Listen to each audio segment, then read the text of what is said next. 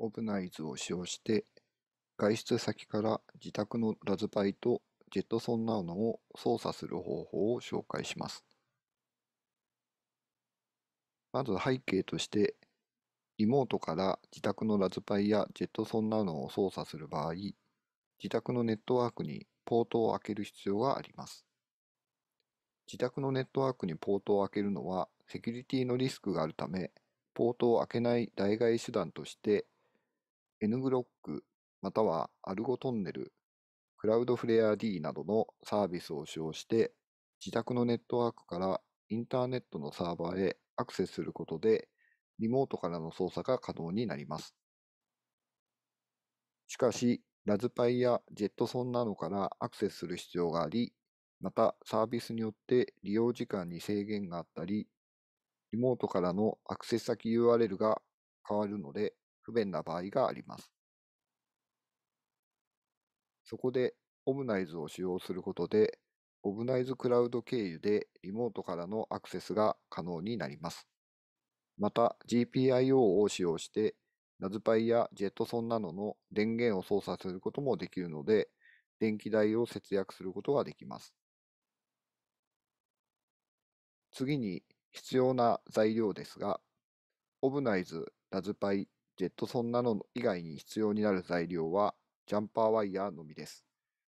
オブナイズ1台でラズパイ、ジェットソンなどを2台まで操作可能です。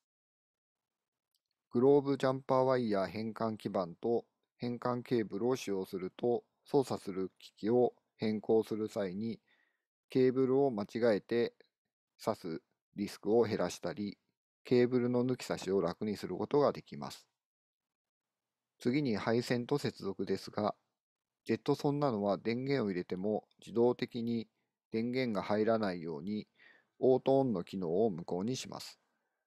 auto on の機能を無効にするためには、 auto on と disable のピンをジャンパーピンでショートします。そして UR と RXD、UR と TXD、パワーボタン、グラウンドをジャンパーワイヤーでオブナイズと接続します。ラズパイは GPIO3、グラウンド、GPIO の14、GPIO の15をジャンパーワイヤーでオブナイズと接続します。ラズパイは auto on の機能を無効にできませんので、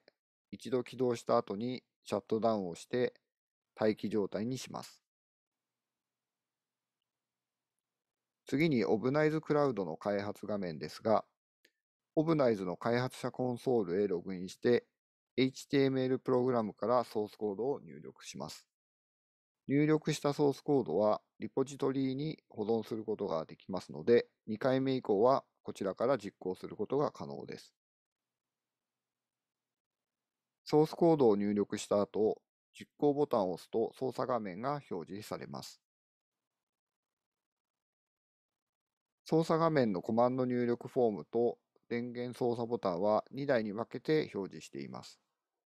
コンソール出力の表示は1つですが、2台の区別は出力行の先頭の番号で分かるようにしています。次にデモをします。オブナイズクラウドの開発者コンソールを開いてみます。右上の開発者コンソールのボタンを押します。今回はあらかじめ保存したプログラムから実行しますので左側のメニューの中からレポジトリを選択します。リストの中から対象のファイルを選択します。ファイルを選択するとプログラムのソースコードが表示されますので中央上の実行ボタンを押します。操作画面が表示されてオムナイズが正常に動作していればオンラインと表示されます。バーが緑色に変わりますので分かりやすいと思います。操作画面のコマンド入力フォームと電源操作ボタンは2台に分かれて表示されます。コンソール出力は Show コンソールログズをクリックして表示します。この状態でジェットソンナノの電源をオンにしてみます。1台目のパワーオンのボタンを押します。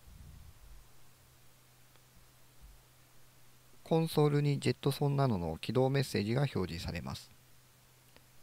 しばらくするとログインプロンプトが表示されますのでコマンド入力フォームからユーザー名とパスワードを入力すればログインすることができます。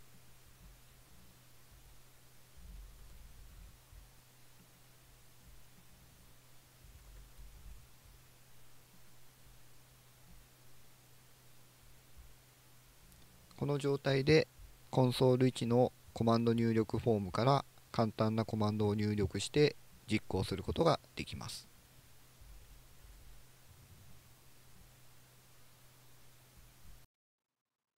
デモは以上です。ご視聴いただきありがとうございました。